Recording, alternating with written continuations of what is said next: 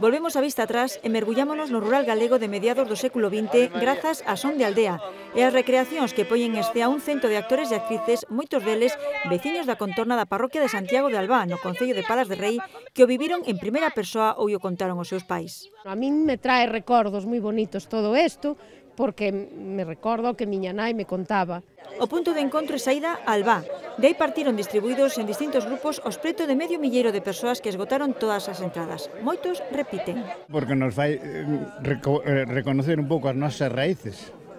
Eh, anímanos á unión. O zapateiro, a costureira que iba polas casas, eh, cociñar na lareira, todo aquelo. Que eu recordo era pequeniña, pero e despois comer na festa, pois na carballeira, pois esas cousas eran agradables.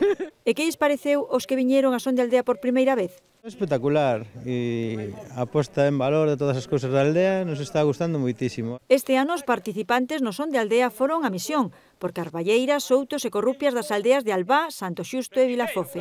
Que alegría ver que todos vos van para a misión, pois vamos ir xuntos, ai, non lles parece? Ai, Dios mío, pero que cara de pecadores estran algúns, non todos igual, pero ai, Dios mío.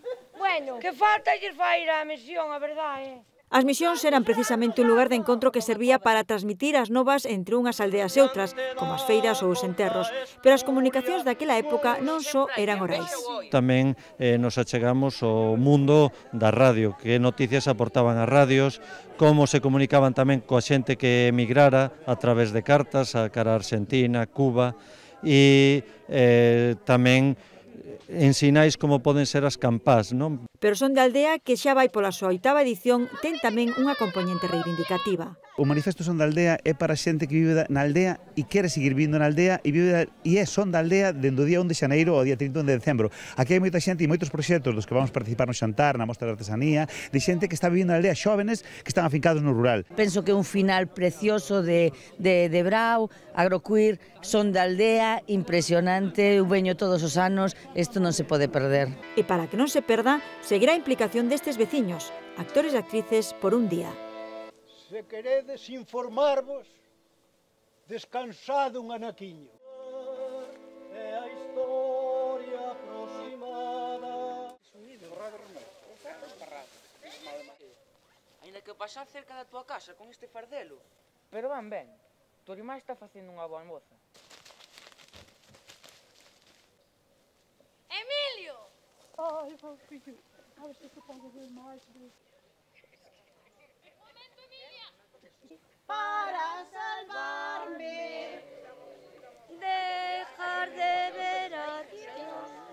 Bueno, eh, o único que pensa debe ser en comer, porque tal como está un hueso de xamón... Ah, ese é meu, eh. Acabo de vir da cantina do portugués.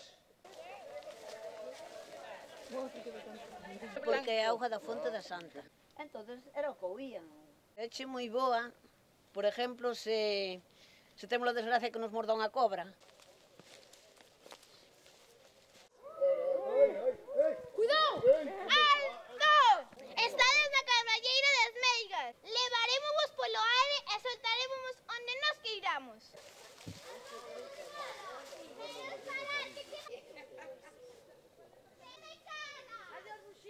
Pois vos, que vindes agora por estas carballeiras escuras de contos, Era unha vez un ano que tiña un bo rabaño de ovella.